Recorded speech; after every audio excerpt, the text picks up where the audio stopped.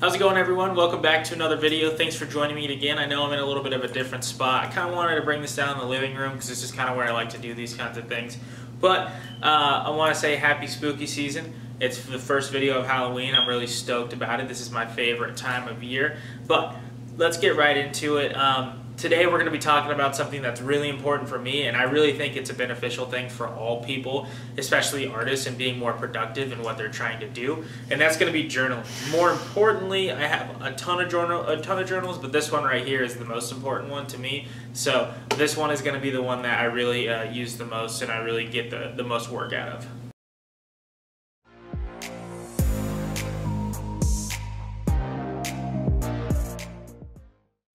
Now I just want to jump into this and say that most people typically only do a simple journal. I have all kinds of different things that I use. I have a planner, I have an idea book, um, and then I also have my to-do list journal as well. Um, to-do lists aren't for everybody, but I'm going to go over the, the premise of why I see both of these, more, specifically both of these as important.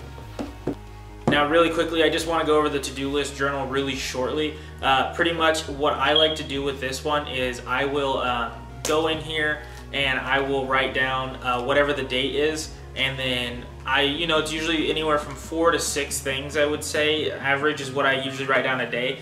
Now, and the reason, the thing with my to-do list is I don't really care for being extremely uh, hard on myself for getting everything done because it's not always possible. And that's something that uh, a lot of people struggle with is being easier on themselves with their with their tasks. Uh, and that's why I say to-do lists aren't for everybody because if you're a little harder on yourself when it comes to getting things done, if you write it down, then uh, you know maybe it's just not the best for you to do a to-do list every day. But I like to do one because it gives me a pathway and it allows me to uh, have good time management for what I'm looking to try and do uh, throughout that day. And I also think it's really good because you can match the things that you're trying to do with your day with some of your goals and I think that's really important as well. Uh, I like to write down uh, helpful tips and just reminders in the front of this book that really help me out as much as I can.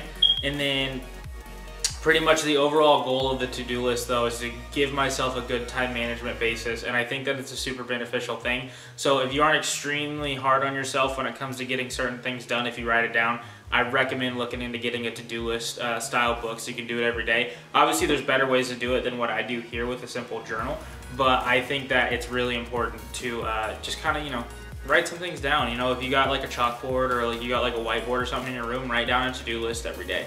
It's super nice. But since I, you know, I like to take this to work with me and stuff, so I like to do it in this. If you guys are enjoying this video, be sure to let me know by leaving a like down below. If there's a different style of, video, of journal that you guys do uh, that maybe you feel like not a lot of people do, be sure to let me know down in the comments. I'm definitely open to trying some different things out. And then if you want to see more helpful videos like this, be sure to subscribe to the channel because I do plan on doing a lot of videos like this as well as, uh, you know, photography videos, of course. And we're going to get into that really soon. I got some awesome stuff coming up. So this journal right here is the most important one though. This is the one that I really think everyone can benefit from. And the reason being is because this one will really help you get some things out that you need out. No matter if you're in a rough place or you're in a good place, having an actual well-balanced journal is super helpful. And what I like to do with mine is a little bit different than a normal journal because what I'll do is I will write down a few goals for the month at the, begin at the beginning of the month on one page and then I'll continue the journal throughout after that. But essentially, uh, what this will do is it will allow me to uh, really stay have a clear focus on what I'm trying to do and it will allow me to uh, be progressive and, and like productive throughout my day because I like to do it first thing in the morning. If I don't do it right here, then I go do it at work uh, if I don't have the time in the morning. So what I do is at the top portion of the journal, I will uh, write out business related things. I'll write out um, as in like if I've got like an Instagram post, a YouTube video, or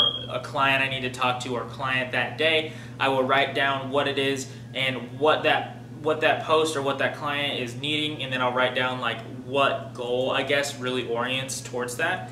And then I will also uh, just kind of try to be sure that I have a, a clear mindset of, of what I'm going to do business wise throughout that day. And there's obviously other things I could talk about, but I feel like it's just not as important uh, to really discuss in a video like this because this is more about helping you guys, not me. Um, so finally though, this is obviously the, the bulk part. This is what a main journal is and what a lot of people will, will use a journal for. That's to write down their thoughts, their feelings, their emotions, and uh, you know what their objectives are as a person. So what I like to do is I like to I like to personally write down how I'm feeling that morning and if it's not in the best way, I like to write down ways that I can get towards that and what I need to do to get towards that. If I'm not if I'm pretty tired, you know, maybe I need to go get some more water, I need to be a little bit more active that day at work, or whatever it is, I need to make sure that I'm a lot more focused on that because I think it's a lot more beneficial to um, be, uh, you know, goal objective towards what you're wanting to do for yourself throughout that day. And then as for getting my emotions out, or like I guess just any kind of feelings out that I really need to, it's really important to write those down because if it's a little bit of a cluttered mindset, then having them down will allow you to uh, decloud that mindset and really have a, a, clear clear amount of judgment on what you want for your day and you can really progress throughout the day. And it's honestly super beneficial. The more that you get into it the more persistent you are at what you're trying to do it will help you out a lot more. So that is really why I recommend journaling because honestly, having a clear, concise mindset on how you are as a person and how you are feeling as an artist and what your goals are then it will allow you to be more productive throughout the day because you got those more important things out at the beginning of the day and it will allow you to stay focused on your task throughout the day. Um, honestly, I think journaling is one of the best things that I have ever started doing. It was something that I always thought about doing and I put off for a super long time. But now that I actually have started doing it and I, I've been doing it for I think almost three months now, every day. And even if you get a little bit behind, say a day or two, just try to make up for that. Uh, I think that writing down what happened throughout those days is super important. Um, but I just really think that staying on, on, on top of everything is super important. I obviously have other journals like my planner and my idea book down here.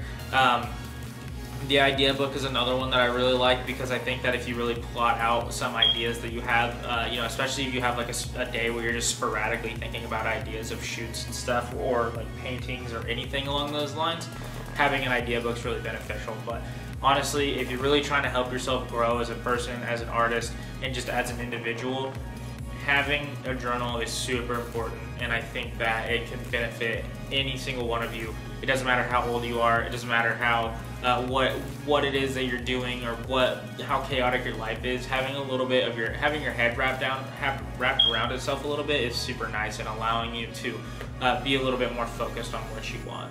So with that being said, uh, I just want to say thank you guys so much for watching this one. Uh, obviously, I told you guys I want to get a little bit deeper on certain things, and I think it's super beneficial if you um, just stay on par with being as deep as you can with yourself and being as true with yourself as you can be. Because if you aren't able to really help yourself as a person, then you're never going to really be able to help yourself as an artist, and especially if you're trying to grow.